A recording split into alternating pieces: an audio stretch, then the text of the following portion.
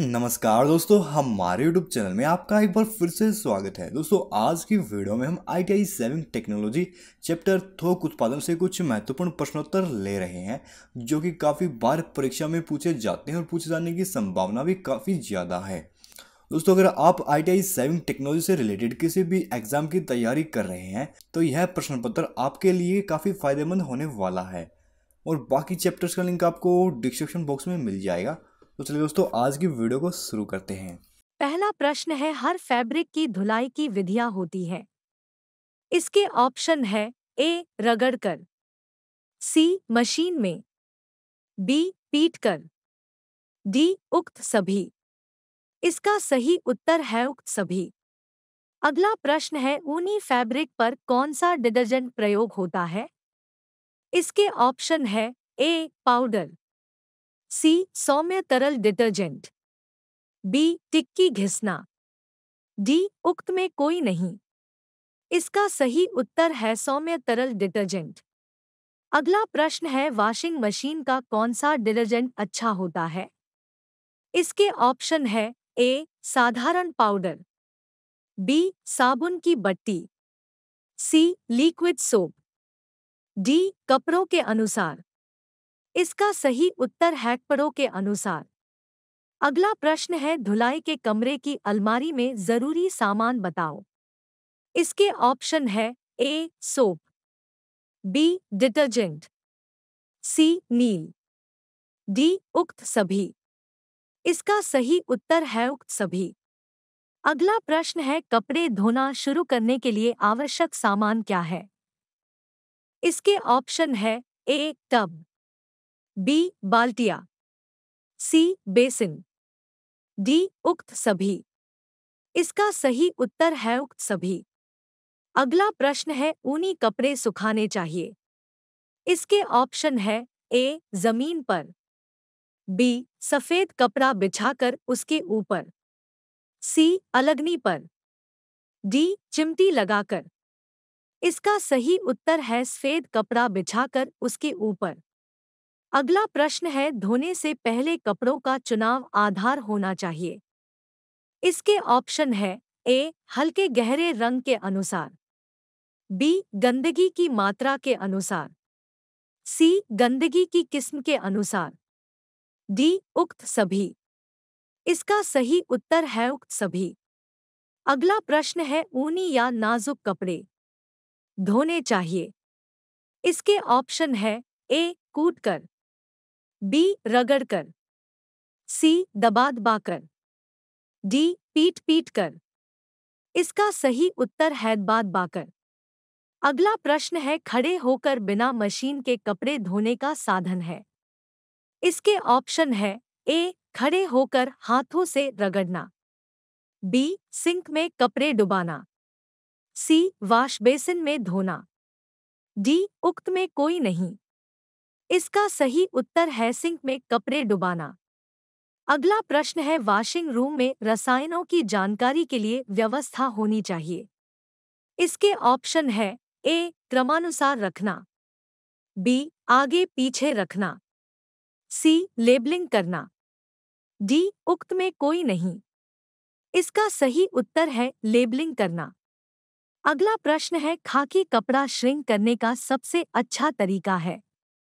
इसके ऑप्शन है, ए, पानी में डुबाना, बी, मोम घिसकर सिलना, सी, साबुन के घोल में डुबाना, डी, उक्त में कोई नहीं। इसका सही उत्तर है साबुन के घोल में डुबाना।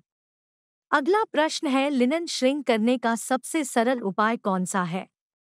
इसके ऑप्शन है, ए, एक घंटा भिगोना, बी, दो घंटे भिगोना सी, सादा पानी में भिगोना। डी, गर्म पानी में भिगोना। इसका सही उत्तर है गर्म पानी में भिगोना। अगला प्रश्न है, कपड़ा श्रिंक क्यों करते हैं? इसके ऑप्शन है, ए, फर्म का नाम अच्छा बनाने के लिए। बी बात की परेशानियों से बचने के लिए। सी, कपड़े को बार बार उधेड़ना न पड़े। डी, उक्त सभी। इसका सही उत्तर है उक्त सभी। अगला प्रश्न है, ऊनी कपड़ा श्रिंक करने का सही तरीका क्या है? इसके ऑप्शन है, ए, पानी छिड़कना, बी, पानी में डुबाना, सी, सूती गीला कपड़ा लगाकर लपेटना, डी, उक्त में कोई नहीं। इसका सही उत्तर है, सूती गीला कपड़ा लगाकर लपेटना। अगला प्रश्न है, कृत्रिम सिल्क श्रिंक करने का तरीका कौन सा है? इसके ऑप्शन है, ए, पानी में डुबाना, बी, गीले कपड़े में लपेटना, सी, हाइड्रोजन पैराक्साइड के घोल में डुबोकर, डी, गोंद के पानी में। इसका सही उत्तर है हाइड्रोजन पैराक्साइड के घोल में डुबोकर। अगला प्रश्न है, बुरदार कपड़े प्रेस करने का तरीका क्या है? इसके ऑप्शन है, ए, सादी प्रेस करना, बी, पानी छिड़क कर प्रेस करना सी नीडल बोर्ड पर प्रेस करना। डी ऑटोमेटिक प्रेस करना। इसका सही उत्तर है नीडल बोर्ड पर प्रेस करना। अगला प्रश्न है, गर्म ऊनी वस्त्रों पर प्रेस का तरीका क्या है? इसके ऑप्शन है ए स्टीम प्रेस करना। बी ऑटोमेटिक प्रेस करना। सी उल्टा करके प्रेस करना। डी कोई नहीं। इसका सही उत्तर है स्टीम प्रेस करना। अगला प्रश्न है, विशेष कीमती वस्त्र प्रेस कैसे करते हैं? इसके ऑप्शन है, ए, उल्टा करके, बी, सादी प्रेस से सीधे पर, सी, सादी प्रेस द्वारा दबा दबाकर डी, स्टीम प्रेस द्वारा। इसका सही उत्तर है, उल्टा करके। अगला प्रश्न है, पाइल फैब्रिक्स को काटने का फार्मूला लिखें। इसके ऑप्शन है, A, cut on double B single single piece C double इकट्ठी. डी एक उल्टा पीस एक सीधा पीस इसका सही उत्तर है सिंगल सिंगल पीस अगला प्रश्न है सिल्क को सिलाई करने का तरीका कौन सा है? इसके ऑप्शन है ए सिंगल सिल्क के नीचे कागज़ रखकर. बी लाइनिंग लगाकर. सी डबल सिल्क करके. डी ए और बी दोनों. इसका सही उत्तर है और बी दोनों। अगला प्रश्न है चढ़ती बुर की तरफ़ बारमैन का कौन सा भाग रखें? इसके ऑप्शन है A upper portion, B lower portion, C मध्य का पोर्शन, डी कोई भी कहीं भी। इसका सही उत्तर है पर पोर्शन। अगला प्रश्न है केमिकल फैब्रिक्स के लिए मशीन में कौन से नंबर की सुई लगाएँगे? इसके ऑप्शन है ए, नौ नंबर, बी, ग्यारह नंबर, सी, चौदह नंबर, डी, सोलह नंबर। इसका सही उत्तर है ग्यारह नंबर। अगला प्रश्न है पेंट व वार्निश के ताज़े धब्बे छुड़ाने के लिए क्या लगाते हैं? इसके ऑप्शन है ए, मिट्टी का तेल, बी, वार्निश, सी, पानी, डी, साबुन। इसका सही उत्तर है मिट्टी का तेल।